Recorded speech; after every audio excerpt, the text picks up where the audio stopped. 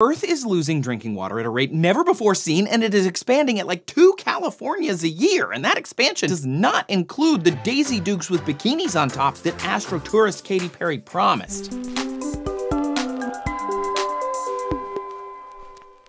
How they found this is actually really fascinating with 20 years of satellite data. These satellites can detect minute changes in local gravity. We think of gravity as 9.8 meters per second per second everywhere, but on top of Mount Nevado Huascaran in Peru, it's only 9.764 meters per second. On a boat in the Arctic Ocean, it's 9.834. They just went up really high and they looked down at the planet. That's it. That's all they did. And they were like, oh shit. Parts of Asia, the Mediterranean, and the southwestern US are drying out faster than the water is returning, and that is not normal. In fact, it will only accelerate if we do nothing because less water means less rain, and less rain means less water in the ground, which means less rain because we keep using it and so on. Put simply, we're drilling into deep underground water aquifers, and we're pumping out more than drips in naturally over time. And we've known this is a thing for a century. Here's a picture from California's Central Valley from 1977. Note when they started keeping track, 1925, 100 years ago. When you move lots of water from that underground space into somewhere else, the mass doesn't come back naturally and the ground actually dips.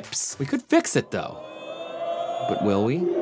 Some places have started. Australia is recycling their water in new ways, installing secondary pipes to capture used water from homes or treatment. Historically, this would be returned to rivers, lakes, or the ocean, or out into some drain field somewhere, but instead they created water classes, A through D, and they use them for different things. A is used for like drinking water and agriculture, B for cattle or industrial, C for crops that will be cooked or processed, and D for watering non-food crops like flowers or trees. Singapore has what they call the four taps, which are captured water from rain, imported water from other places like Malaysia, recycled water, and desalinated water. In desert like Saudi Arabia are using dozens of desalination plants to make drinking water. 75% of the world's population lives in 101 different countries, and those countries have been losing fresh water for 22 years. One in 10 people don't even have access to clean drinking water, and if you care about this, Support Team Water. Go to teamwater.org and help bring water that we do have to people who need it. Pay this forward because, to be honest, you might have a lot of water now, but these areas that are drying out will need water, and so will you eventually. Groundwater depletion is a non renewable resource. Think of all the empty Stanleys that would be littering a post apocalyptic, dried out Los Angeles.